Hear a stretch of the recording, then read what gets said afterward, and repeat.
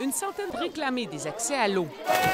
Ben, on s'est bien rafraîchi. Elle était trop bonne l'eau, ouais, ouais. C'était trop, trop agréable. On vit sur une île, alors euh, en plus de ça, on a un des plus beaux fleuves du monde. L'événement Le Grand Splash 194, un peu partout dans la province, la Fondation Rivière en organise pour revendiquer davantage d'accès public aux berges. Notre 19e édition. Ce que je répète à la Société du Vieux-Port, c'est que nous sommes plus têtus que vous. La Fondation fait faire des évaluations de l'eau dans les semaines qui précèdent l'événement. Ça nous permet de voir en continuité, malgré les intempéries, c'est quoi la qualité de l'eau. Et on voit que même avec des périodes de pluie ou ces choses-là, avec des variations, on arrive à avoir une eau baignable.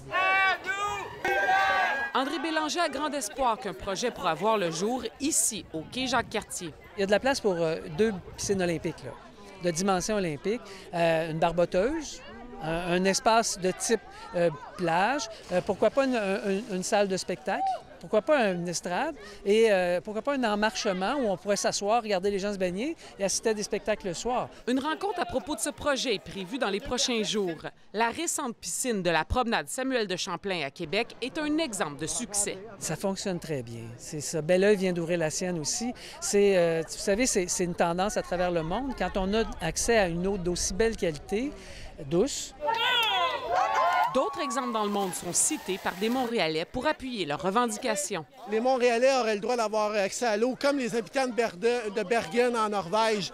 L'eau appartient à tout le monde. D'autres super splash auront lieu dans les prochains jours un peu partout au Québec, notamment samedi à Sainte-Martine et dimanche à Chambly. Véronique Lauzon, TVA Nouvelle, Montréal.